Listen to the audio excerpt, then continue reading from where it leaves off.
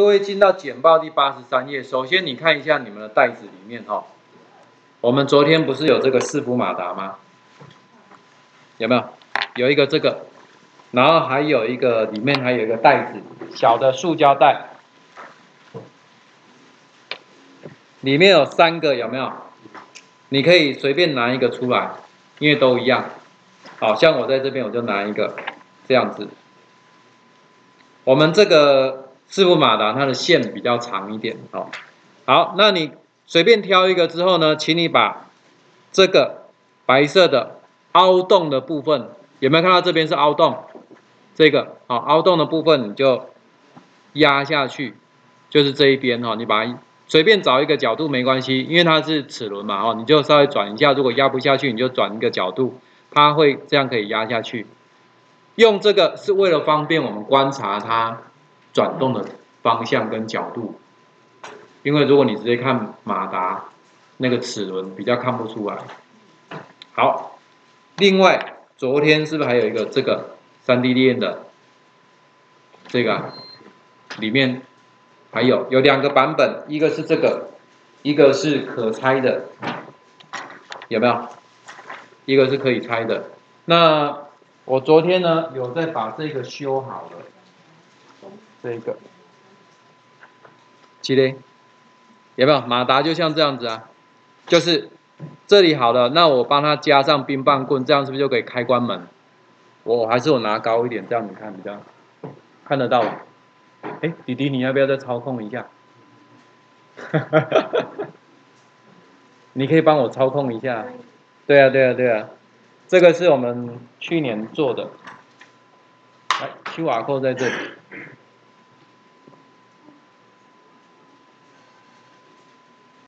已经连进来了哈，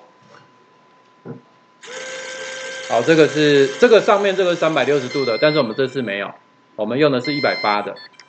好，那你好有看到开关门了吧？对不对？好，那你可以用手动的，这样人工的，刚刚那个是指定角度，这是它可以慢慢的用拉霸的方式哈，就用拉霸的方式去操控也可以。那当然，这个也可以读取什么气象报告，就是我们这样是不是可以跟这个搭配，对不对？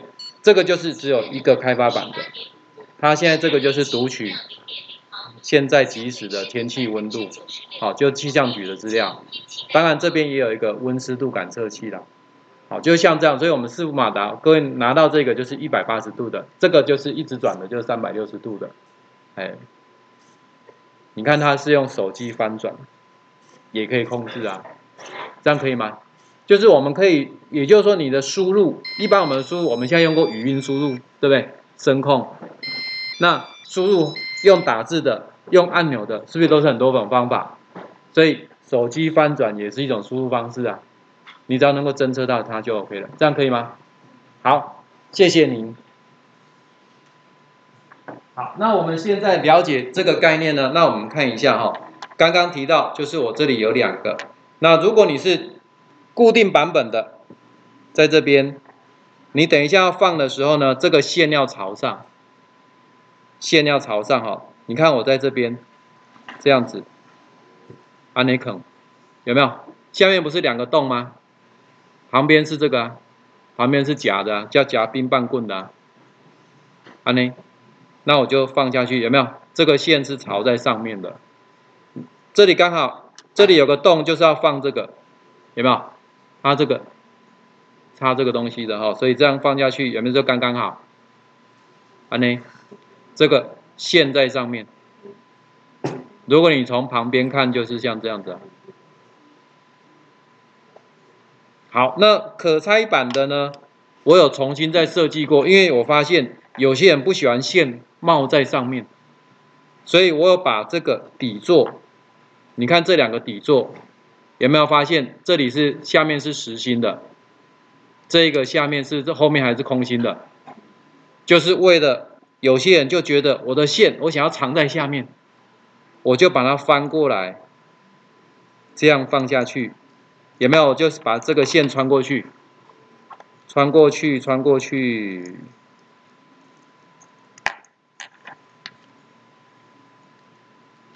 这样子。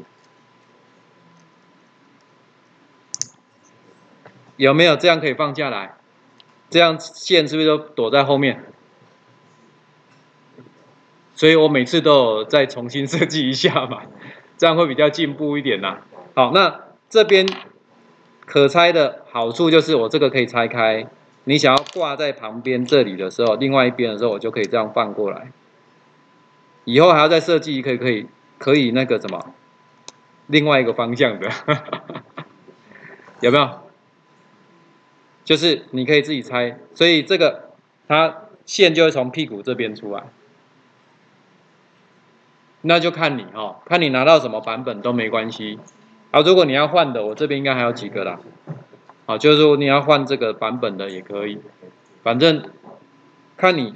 这一种的一次一体成型的是比较美观的，但是这个好处就是我有多把这个拆掉这样子，好，下面这边就是多留空间出来，这样 OK 了吗？所以你等一下可以像这样粘，好，先稍微放一下，先了解一下，呃，冰棒棍我先各位先暂时不用放上去，因为这样比较容易打到人嘛，所以你就先放这个，那我们等一下就是可以，你用那个双面胶。好，如果你已经好了，下午就可以让用双面胶把它粘上去，你就有比较大的旋转范围。OK，可以了。那接着就是我们看一下那线哦，很长，对不对？你看这里面没有三条。哎，那因为这个马达它本身需要比较大的电力，好，所以呢一样的，你看我们这个马达，我先介绍一下，这个四伏马达跟我们一般的。不，那个马达差别在哪里？一般的马达，我们如果像玩具里面有打，它就转嘛，对不对？就自动转而已，它就没有角度上的控制。所以四伏马达它主要就是你可以做角度控制。那一般来说，我们的这个比较常见的就是一百八十度的，但是它的一百八不见得是完全一百八啦，可能会有时候会有那个角度上的偏移。啊，因为这个还是便宜嘛，没有那么准确，所以这个叫做 SG 九零啊。哦，你看到它这个叫 SG 九零的这个四伏马达。那么除了一百八的，它其实还有另外一个是三百六的。那三百六的，就是它只能控制不同的方向，而我要正转，我要倒转，然后我两个速度，好，就是有一点差别。那我们这次用的是一百八十度的，好，一百八十度的，所以用一百八十度就是说。在这个角度范围里面，你可以自由控制。哇，你看我们刚刚同学有试过，有没有？慢慢用手工的这样慢慢转。你也可以一次我就指定到位，好，一次转九十度，一次转六十度，这样都可以。所以这个可以用在一个地方。你们有没有用过那个会自动打开盖子的垃圾桶？有那一种，对不对？因为有时候像我们过年去那个人家那个叫做烘焙坊，因为他们常常就是什么。手上就有一些面粉啊、油啦，不太适合再去把盖子打开嘛，所以他就设定在手到那边有没有侦测？用你可以用红外线也好，你可以用超音波，哎，侦测到了盖子就自动打开，就这个我们也可以做类似的这样的效果，这样 OK。好，所以有这样的概念之后呢，刚刚有看到这个哈，那我们看这里在简报的第九十页那里，因为它有三条线。所以呢，这三条线呢有三个部分。第一个就是它的电源，红色的那一条，中间那一条，中间就是它的红色电源。等一下接到 VCC。那么右手边棕色的图上面是黑色的，但是各位你看你的那个上面有没有一条棕色的？棕色的那一条就是 GND，有没有？这个棕色这一条。我的右手边，好，那么橘色这一条就是它的讯号线，因为你要控制它几度嘛，所以你是不是要告诉他，他才有办法接收，这样清楚了。所以像我们昨天那个 LED 点矩阵，总共是不是五条？有电源，有接地，是不是还有三条控制线？对不对？就分别控制它要怎么出现的。好，所以一般来讲，如果你正常在用，大部分都需要额外接电源呐，不像我们第一次用那个 LED 灯，有没有？LED 灯不是直接就接的，有没有插什么 VCC 或三点三？没有，因为它不太需要嘛，电力比较省。好，这个是给各位稍微看一下的。好，这样了解了，我们就准备来接线哦。那这个怎么接？你看到它现在是什么头？母的，对不对？对，平头那个是国中的时候才需要理的，太冷了。我我跟他应该没有没有，我们没有对怼过嘛，哈，我们没有剧本嘛。好，所以你要拿什么公公的？对，麻烦你拿公公的线三条。我如果可以的话，其实你是接一样颜色会更好了，因为这样子是就不用做颜色转换，对不对？但是如果你没已经用用掉了，那你就用不同颜色也 OK。好，只要你自己分得清楚就好。好，我就把公公的线，我就先把它放进去。好，OK 的，在这里，这样就有了。好，就先把它接好了。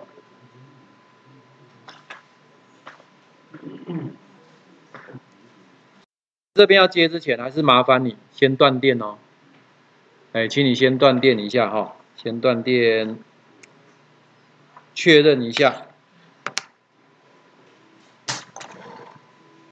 先讲就是，如果你是完全空的话，这样子。那我们刚刚讲的中间这一条就是红色出来这一条，是不是电源？VCC，所以我现在是白色的，就转换之后是白色的，所以我就接到我开发版的 VCC。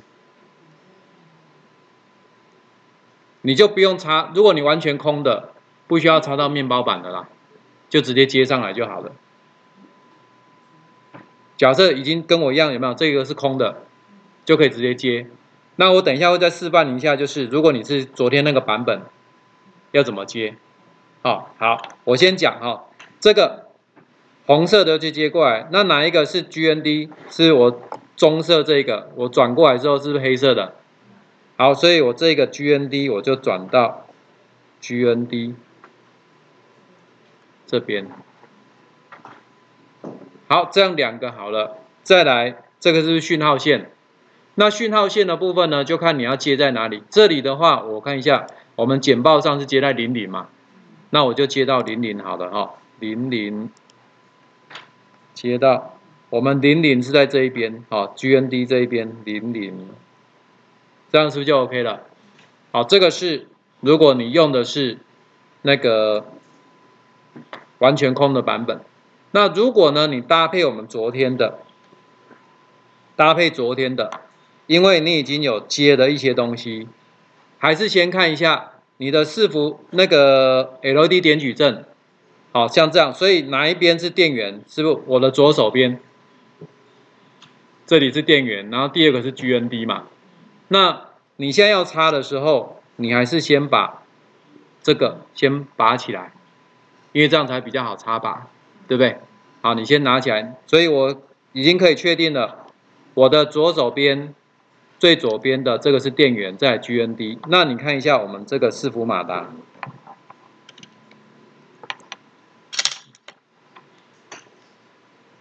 你要接来第一个，你要接电源，对不对？那电源我不用，因为这里 VCC 有没有被用走了？这个时候是不是插到面包板最左边那一条就好了？所以我找到我的伺服马达的电源，以这个来讲的话，这个是哪一个？是白色的，我就把白色的接到这边来，有没有？就接在这个，在这边。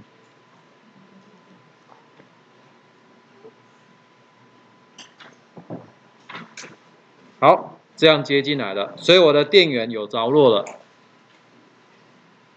第一个，第二个，我的 GND，我的 GND 是棕色这一条接过来是黑色，所以 GND 是我们这边的第二条，对不对？昨天我们的蜂鸣器也接在这里嘛，所以你就在这边再接一条喽，在这边再接一个，这样是不是有三条了？